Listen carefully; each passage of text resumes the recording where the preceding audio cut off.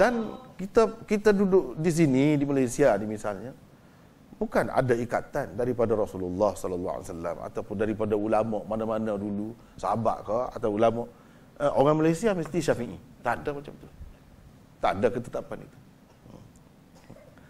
Dan berapa banyak kalau kita nak penyelesaian cara Syafi'i tak sesuai lah banyak perkara eh? uh, tapi ada juga orang yang dia dia nak berkerah juga ha? terpulang lah. macam tu eh, terbulat lah. Hmm. Tapi kalau kita tengok banyak perkara tak boleh selesai. Uh, susah. Susah kalau nak selesai pun susah. Dan tidak sesuai dengan keadaan banyak perkara lah. Uh, seperti sebelum ni, um, saya sudah sebut dah misalnya masalah cengkeram. Uh, urbun. Uh, cengkeram tu, Syafi'i tak boleh. Tapi orang kita duk guna di mana-mana pun guna. Eh? Uh, jadi dia dia pakai tu dia pakai apa? Kalau kita tanya dia pun tak tahu. Ha, dia pun tak tahu. Sebenarnya itu mazhab Ahmad.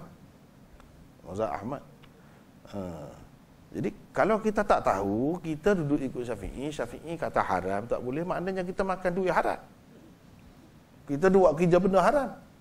Ha, itu kena berhati-hati juga. Ha, kita bukan perlu tahu nak bersuci untuk bersembahyang saja dalam hidup kita ni. Kalau kita berniaga, berurusan dengan orang ramai, ada benda-benda macam tu kita kena tahu bila kita nak guna. Kalau kita tidak ada urusan itu tak apalah. Tapi kalau kita berurusan dalam perkara itu kita mesti kena tahu kalau tidak salah kita. Dosa lah ha.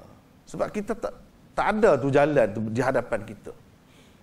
Yang ada kita pegang yang itu. Yang itu kata tak boleh ha, sebab tu kata kita buntu jadi ha, itulah yang saya kata jangan tertutup sangat susah susah kita juga Ha, jadi kita biar terbuka. Sebab ini semua ni imam-imam kita. Imam-imam kita. Ha.